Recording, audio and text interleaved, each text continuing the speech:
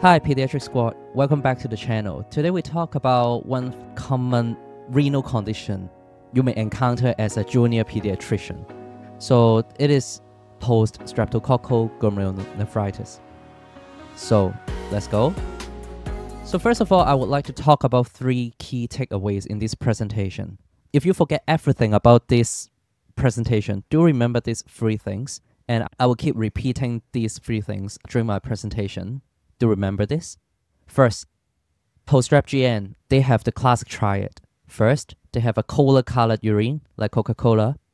Secondly, they can have edema.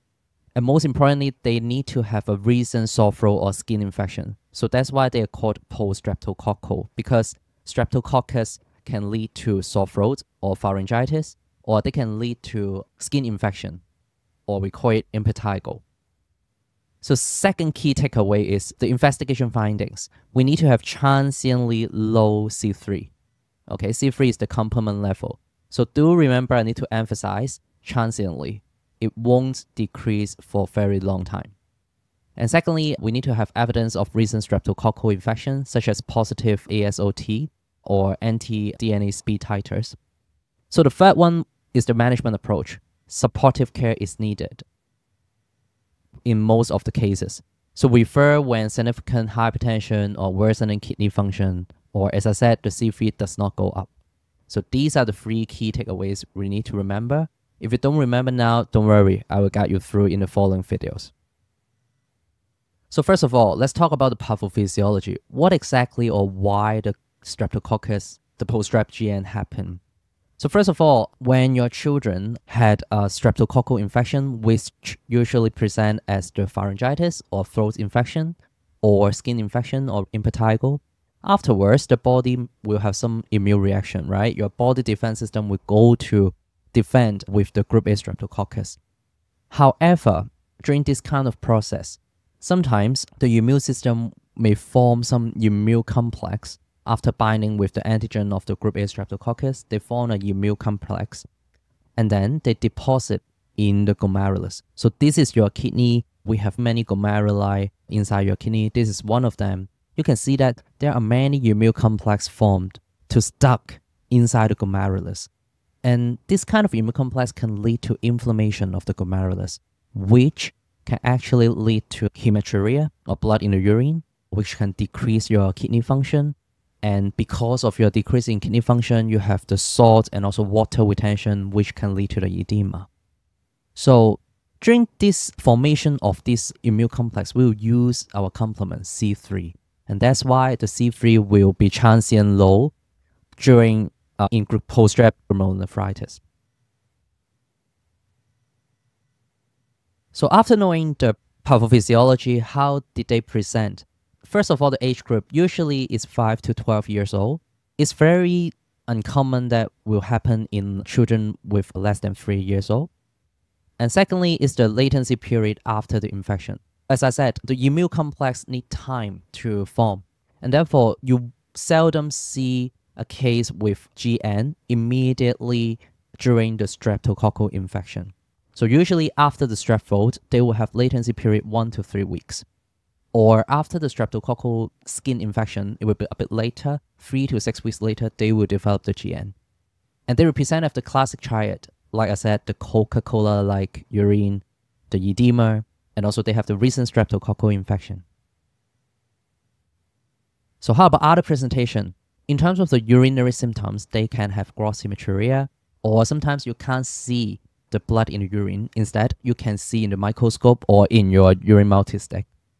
Secondly, they can have fluid retention, mainly due to the salt and fluid retention because of the impairment of the kidney.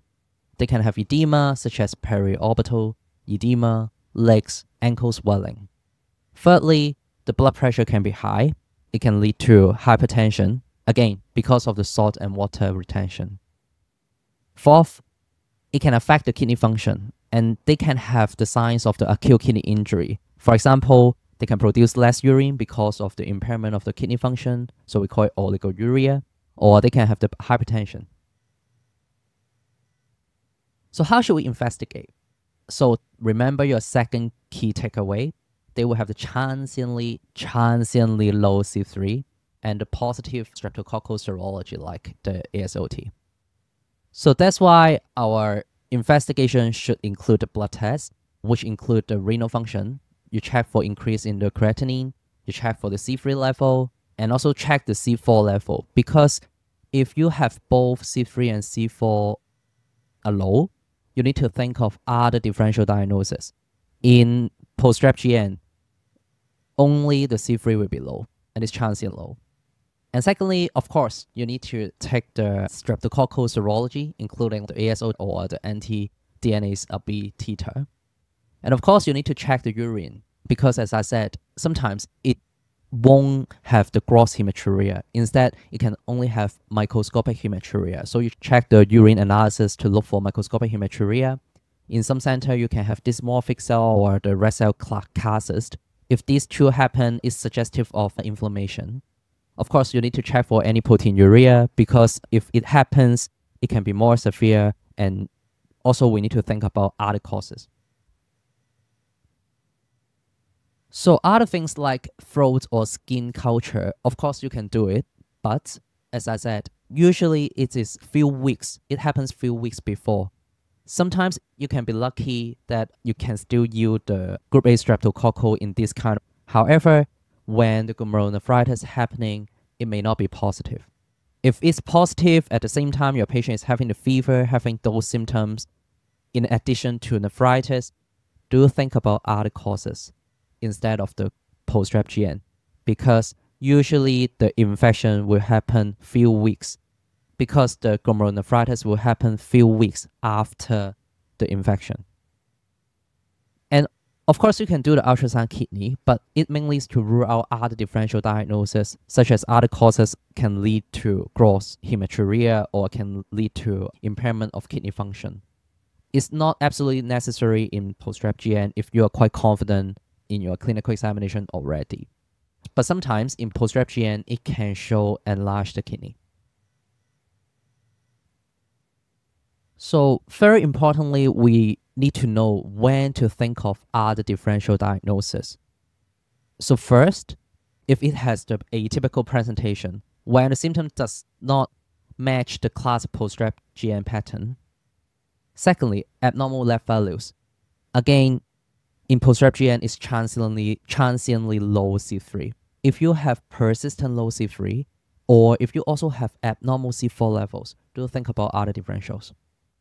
And if the kidney is very bad, progressively worsening of kidney function, or it has recurrent episode, do think about other differential because GN usually will be one-off. It usually won't be recurrent. And if the patient do not have evidence of streptococcal infection, like the ASOT, the anti-DNase be negative, no history of like sore throat or skin infection, do think about other causes of the glomerulonephritis. Or if there is no latency period, as I said, if the patient is having active infection plus the symptoms of nephritis, do think about other differential like the infection-related GN or other GN. Again, if the complement is not that typical, if you have normal C3, if you have persistently low C3, which means even after two to three months, you still have the low C3, do think about other differential include an entity called C3 glomerulopathy. C3 glomerulopathy. Do let me know in the comment section if you want to know more about this. I can make another video about this. Or if the patient have both low C3 plus low C4, do think about lupus nephritis or the renal involvement of the SLE. Again, if you want more information about this, do let me know in the comment section. So another thing will be if the kidney function is very bad, do think about post-strep GN. Usually it won't happen in post-strep GN. If the patient have persistently gross hematuria or hypertension, let's say if not improved after four to six weeks, do think about other differential diagnosis. And if the patient have recurrent episodes, do think about other differential because PSGN usually happen only once. Also, if the patient have other concerning features such as full bone nephrotic syndrome, do think about other differential because in PSGN, usually they have mild proteinuria. Or if they have some extrarenal symptoms suggestive of other differential diagnoses, such as you have malar rash, you have significant joint pain or arthritis, you have purpura. Do think about other differentials like the systemic lupus, like the HSP, or we call it IgA vasculitis. So another question will be when should we consider the renal biopsy? Do we need to do in every patient? No.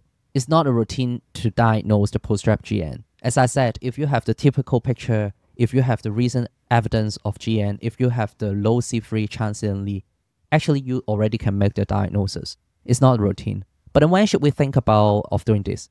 First, uncertain diagnosis, like if you know clear strep infection history, no abnormal lab test. If you have rapidly worsening renal function, if you have persistently low C3 after about 8 weeks, if you have nephrotic features, or again, other glomerulonephritis concerns, you need to do the renal biopsy. But otherwise, you may not need to do it as a routine. So, after we make the diagnosis, how should we manage? Remember the third key takeaway? Most cases get better on their own with supportive care only.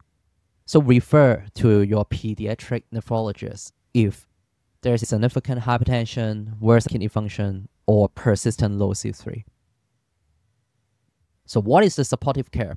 Firstly, salt and fluid restriction, like the management of other cause of GN. You need to limit the intake to reduce the edema and also the hypertension. You may consider to use the diuretics to improve the urine output and also help with the blood pressure. Sometimes we can choose loop diuretics like the furosemide. And thirdly, sometimes the patient can have hypertension. You need to control the hypertension. You may give the diuretics or the calcium channel blockers. But then usually we try to avoid the ACEI in the acute phase because transiently it can worsen the kidney function or it can lead to high potassium, which can be a concern in the cases of post-strep GN, especially if they already have some degree of kidney injury. So shall we give antibiotics because it is a post-streptococcal process? Generally, no. But then, if there is evidence of active streptococcal infection, such as a positive throat swab, yes, you can treat it. But the aim is not treating the glomerulonephritis, but instead is to prevent spreading to others and also treat the ongoing infection. But do remember, if you have active strep infection with the picture of nephritis, do think about other differentials before you commit it is a post-strep GN, because generally it can have the latency period. And you do not need the prophylactic antibiotics to prevent that to happen. Shall we give the immunosuppressants and like the lupus nephritis? Generally, it's not beneficial in the post-strep GN. So when to refer to your pediatric nephrologist. So, firstly, if they have the rising creatinine, you need to refer to them. It has severe presentation, blood pressure is very high, or you have the hypertensive emergency, hypertensive urgency already. They can have headache, visual burning, or you have the persistent low C3. You need to refer to them and also perform the renal biopsy. So the prognosis, good news is most children can recover and for the microscopic hematuria or proteinuria, it may take months to completely resolve. So generally, this is not a very bad disease. So three key takeaway. Again, thank you for watching this video. Have three key takeaway for you. I repeat again, do remember. First key takeaway is they have the classic triad, Coca-Cola like urine, edema, recent sore throat or skin infection suggestive of recent streptococcal infection. Investigation-wise, chance transient transiently low C3, plus the evidence of recent streptococcal infection. Thirdly, most cases will get better on their own with supportive care. Do refer to your pediatric nephrologist if they have the worsening kidney function, hypertension, or if the C3 does not go up. So thank you for watching this video Pediatric Squad. So do subscribe my channel if you would like to have more video like this or if you are interested in pediatrics or you are a young pediatrician. I will try to make more video to explain the topics of the pediatrics easily and clearly to all of you.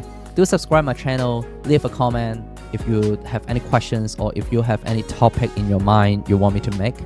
Do give me a because this can help do give me a if you like this video because this can help the YouTube algorithm to spread my video to more people that need this video. So thank you. I'll see you next time.